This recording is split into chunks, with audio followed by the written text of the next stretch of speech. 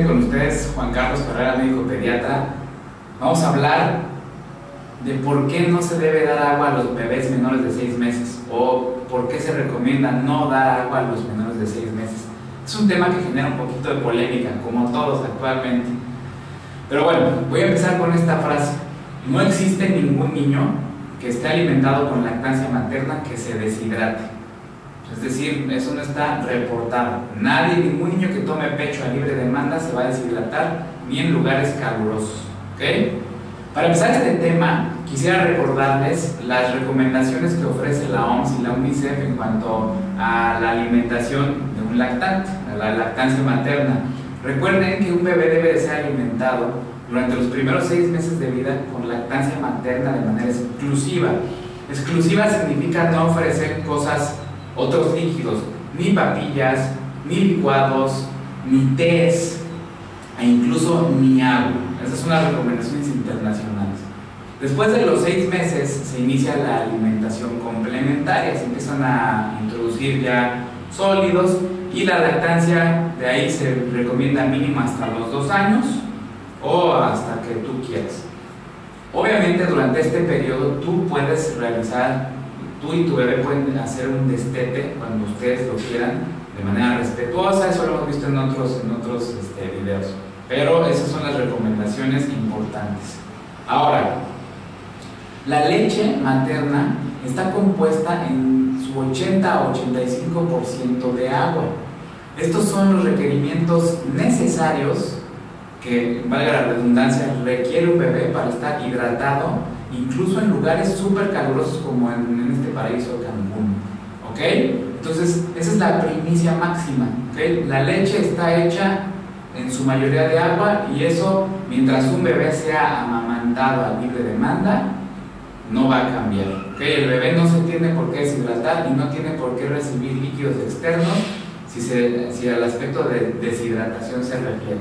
Ahora, lo mismo pasa con el pequeño que, tiene alimentación mixta, es decir, que la mamá le da pecho y aparte le da fórmula, y lo mismo pasa con el bebé que es alimentado con fórmula. Mientras la fórmula esté bien preparada, también debe de ser alimentado a libre demanda y ahí vienen los líquidos necesarios para que el bebé durante los primeros seis meses de vida quede bien hidratado. ¿Ok? Esas son pautas internacionales. Ahora, Vamos a ver rápidamente las razones por las que no se recomienda el uso de agua antes de los seis meses. La primera, el agua puede estar contaminada, sobre todo en países en vías de desarrollo y todo, ¿no? Entonces, el agua puede originar en algún momento alguna infección gastrointestinal en el bebé, poco común, pero puede ser. Dos, el agua hace que el bebé se sacie antes de tiempo, es decir, puede ser que el bebé deje la disminuya su requerimiento de leche materna y abandone más tempranamente la lactancia. Número 3. Obviamente el bebé que toma agua pues pierde requerimientos nutricionales del valor que tiene la lactancia materna. Número 4. Si la madre que está dando lactancia materna ofrece agua, puede disminuir su producción de leche. Eso es importantísimo. Y número 5, la hiperhidratación.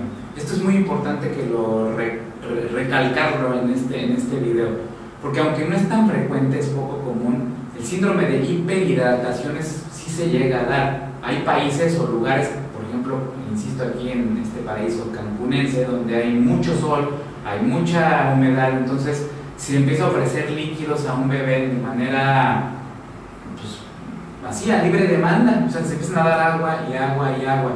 ¿Qué pasa? Si tú le das mucha agua al bebé, el riñón del bebecito pues está también empezando a funcionar, está empezando a hacer sus funciones. Entonces, dentro de las funciones del riñón está el manejo de electrolitos, el sodio, el potasio, el cloro, estas cosas. Entonces, si empieza a haber acúmulo de electrolitos, el sodio puede tener algunas bajas y generar lo que se llama hiponatremia.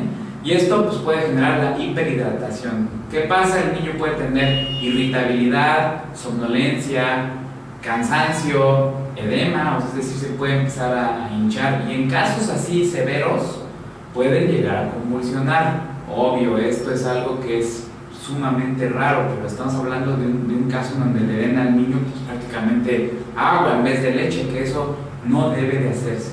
¿Ok? Entonces, aquí están las pautas, aquí están las recomendaciones. Lo ideal recuerden que es la lactancia materna a libre demanda. Si tu bebé, si ahorita estamos en verano y tu bebé quiere eh, mamar más, acuérdense que la alimentación debe ser, debe ser a libre demanda. El bebé, si tiene sed, ¿cómo sabes que, que tiene sed el bebé? ¿Qué te dice que tiene sed el bebé? El bebé lo único que va a hacer es pedirte. Entonces el bebé va a estar a libre demanda, mamando y mamando, y eso a lo mejor son tomas muy pequeñas, pero a lo mejor el bebé se quiso saciar de su sed, porque, insisto, hay mucha agua en la leche. Bueno, no vamos a hacer más rollo en este asunto. Cuídense mucho, déjenme sus comentarios, vamos a tratar de responderlos. Estamos al pendiente y nos vemos pronto. Cuídense mucho.